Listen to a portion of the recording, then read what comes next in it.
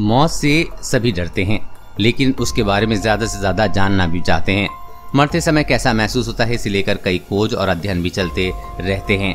मौत उसके बाद आत्मा की यात्रा और मरने से पहले के संकेतों आदि के बारे में धर्म पुराणों में विस्तार से बहुत कुछ लिखा गया है।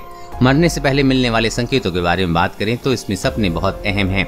स्वप्न शास्त्र में भी सपनों के बारे में बताया गया है कि जो मौत का संकेत देते हैं आज हमें ऐसे ही सपनों और संकेतों के बारे में जानते हैं, जो मौत के करीब होने का इशारा करते हैं।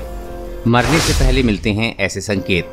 ऐसा सपना है जिसमें दिन के उजाले आसमान में भी तारे दिखाई दें या इंद्रधनुष नज़र आए तो उस व्यक्ति की मृत्यु करीब हो सकती है। सपने में खुद को किसी ऐसे गड्ढे या खाई में देखना, जहाँ से तमाम कोशिशों के बाद भी निकल नहीं पा रहे हैं तो ये मरने से पहले का संकेत हो सकता है। यदि सपने में खुद को लौकी, नींबू, ककड़ी और तरबूज खाते देखें तो ये मौत का इशारा है। यदि मृत्यु न भी हो तो व्यक्ति को मौत जैसा कष्ट उठाना पड़ सकता है।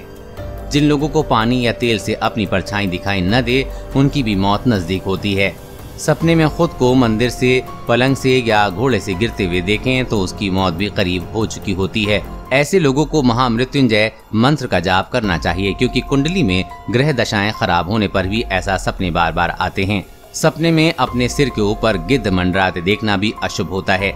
सपने में सोलह श्रृंगार की हुई महिला लाल कपड़ों में दिखे और व्यक्ति खुद को उसके साथ संबंध बनाते देखे तो उसकी जल्द ही मृत्यु हो जाती है।